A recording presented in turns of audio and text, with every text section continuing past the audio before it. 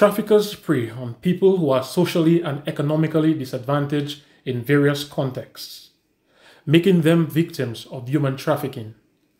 According to the United Nations statistics, human trafficking detection fell by 11% in 2020 and convictions also dropped by 27% compared to 2019 statistics.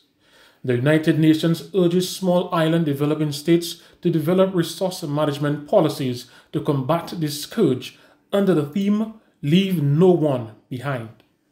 In order to meet this threat head on, the Royal Saint Lucia Police Force, through a robust and dynamic training program with the full support of the United States Embassy, has embarked on a week long training course under the heading Human and Drug Trafficking Interdiction Subject Matter expert exchange training. Drug trafficking, over half a trillion dollars is made annually. Human trafficking, 150 billion US dollars annually. Small arms and light arms trafficking, between 1.7 to 3.5 billion US dollars annually. Organ trafficking, over 1.7 billion US dollars annually. This is the profit that people make or criminals make every year when it comes to trafficking.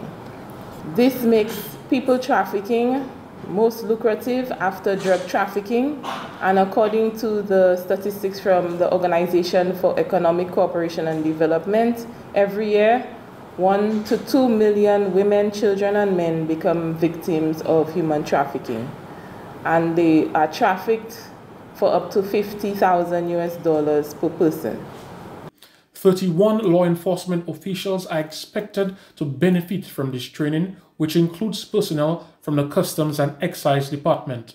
Um, and this marks the 51st event that we've been able to execute in two years across the seven countries. So again, that's about 1,700 people that we've been able to have exchanges with. We definitely try not to call this training. These are true exchanges because our folks are here to learn from you just as much as you're here to learn from them. And so we really encourage, like Dr. Seeley was saying, um, this open communication, the open dialogue through the week let us know how you do things. We'll let you know how we do things. And then together we come together with some best practices and maybe some new or revised um, SOPs, right? The aim of this training is to equip law enforcement officials with the skills and techniques they need to swiftly recognize human trafficking victims, offer support to survivors, and end the sense of impunity that traffickers have.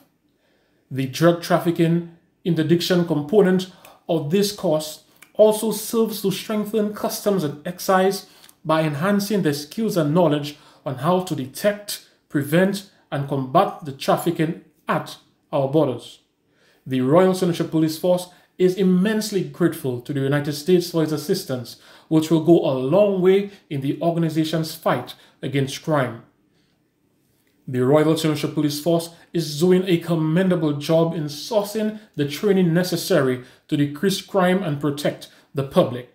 The organization hopes that more people will use the anonymous tip hotline 555 to report any suspicious or criminal activity they witness. By doing so, they can help the police to prevent and solve crimes and to bring justice to victims and perpetrators. Remember, if you see something, say something. Your voice can make a difference. Let's stop human and drug trafficking together.